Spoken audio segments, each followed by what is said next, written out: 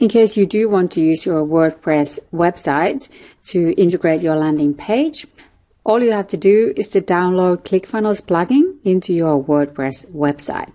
Let's have a look how to do that. So of course you need to be logged into your website and this is just the example website I'm using. So we add new. So when you add a new plugin, just go here and search plugins and type ClickFunnels. And hit enter and you will get the search results. Okay, so here you can see this is made by clickfunnels.com, so you know that's the right one. And we're going to click install now. And once it's installed, we're going to click activate.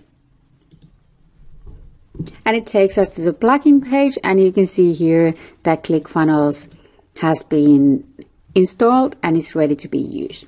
And you also see you're going to have a new heading on your dashboards. So ClickFunnels has added a new heading on the sidebar. So let's go see what happens. Okay, so one of the first things you need to do is to do go into ClickFunnels and settings. And you need again to do the API connection with ClickFunnels. So you're going to need the account email, which is whatever email you used to sign up for the account. So in my case, it was the test account. So we're going to find now the our authentication token from ClickFunnels. So we're looking for API details on ClickFunnels. So let's go into my account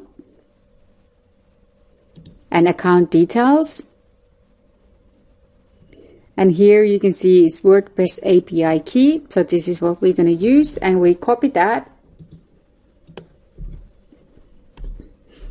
into the WordPress and save settings. And now you can see we have successfully updated ClickFunnels plugin settings, so we're all good to go. Next step to do is to go to general settings and you need to decide how you're going to display these pages with WordPress. You have three options. You can download and display, you can embed full page iframe or redirect ClickFunnels. Of these options, uh, the easiest are download and display or redirect to ClickFunnels. So for this course, we're just going to use download and display for time being and save settings. Once we have done that, it is time to actually add new page. So we're going to go to add new. And you would of course do this after your landing page is ready, but I'm going to show everything in this one video so it's easier. Okay, so you're adding a page, you need to decide what kind of page it is. If it's a regular page, home page, or 404 page.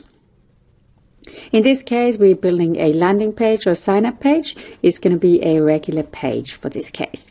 Uh, the next thing is we need to choose which funnel is actually going to be used for this page. And it's going to be the ClickFunnels course funnel. You just add it to your account.